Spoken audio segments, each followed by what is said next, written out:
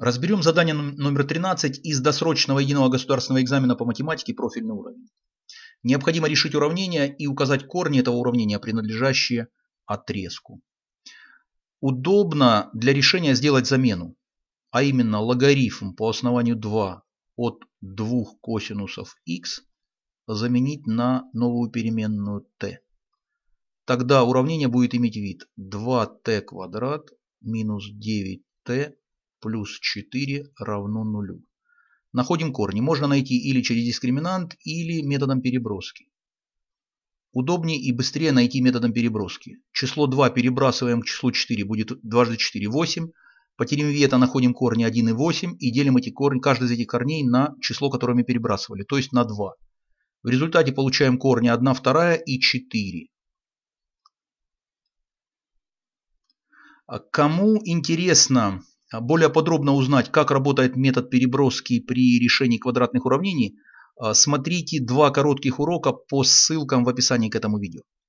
Итак, делаем обратную замену. Вместо t подставляем то, чему это t было равно. То есть логарифм по основанию 2 от 2 косинусов x равно 1 второй или логарифм по основанию 2 от 2 косинусов x равно 4.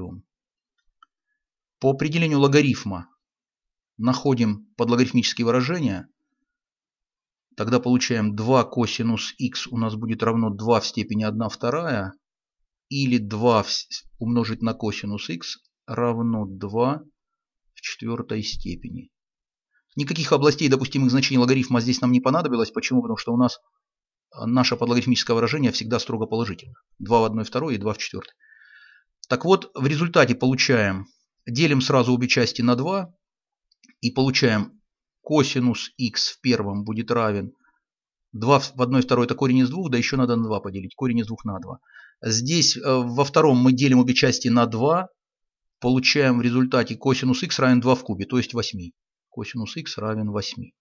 Сразу можно заметить, что второе уравнение решения не имеет. Почему? Потому что косинус х изменяется от минус единицы до единицы, а число 8 не входит в множество значений косинуса. А это значит, что второе уравнение корней не имеет, пишем пустое множество. Ну а для второго уравнения по готовой формуле, формуле сразу запишем готовое решение. То есть x будет у нас равен плюс-минус π на 4 плюс 2πn. n принадлежит множеству целых чисел. На вопрос а мы ответили, Осталось только отобрать корни, удовлетворяющие нужному нам промежутку. Покажем на тригонометрическом круге. Во-первых, наши корни – это плюс-минус π на 4. Делим дугу в первой и в четвертой четверти пополам. Показываем точку, которая соответствует для первой четверти. Эта точка соответствует углу, углу π на 4. То есть, ну вот можно для первой четверти написать угол π на 4. И если это четвертая четверть, можно вот эту точечку записать как минус π на 4. Но это ничего не значит пока что еще для наших корней, которые мы отбираем. Далее нам необходимо на числовой окружности показать вот этот наш промежуток. Минус 2π соответствует нулевому значению. Это значит вот здесь вот начнем с этой точечки. И эта точка минус 2π.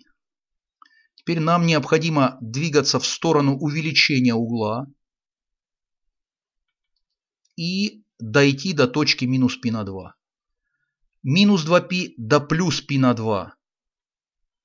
Мы тогда придем вот в эту точку, и эта точка у нас уже будет минус 3π на 2. Потому что минус 2π до плюс π на 2 будет минус 3π на 2. Минус 3π на 2. Далее идем дальше. Следующая точка. Минус 3 π на 2 до плюс π на 2. Это будет минус 2 π на 2. На 2 сокращаем, будет минус π. Идем дальше. Прибавляем к минус π еще раз π на 2, получаем минус π на 2. Это и есть правый конец нашего отрезка. То есть обход закончен. То есть получается мы должны пройти вот эти три четверти. И вот на пути нам только один раз попадается нужный нам корень. Вот он. вот эта точка только один раз встреч, встретилась нам а, на пути. А, как ее найти? Надо к значению минус 2π прибавить вот этот угол π на 4. То есть минус 2π плюс π на 4 это и будет наш корень. Таким образом, x это, это ответ на вопрос А, это ответ на вопрос Б.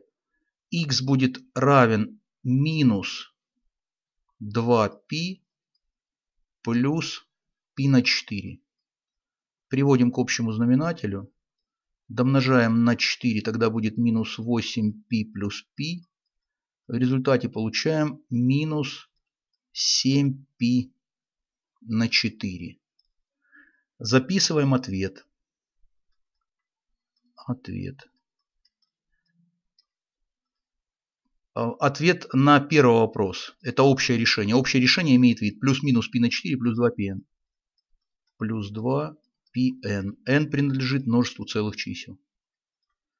И после отбора корней у нас получился только один корень. Это минус 7π на 4. Задача решена. Кому решение задачи понятно, не забудьте поставить лайк и напишите несколько слов в комментариях к этому видео.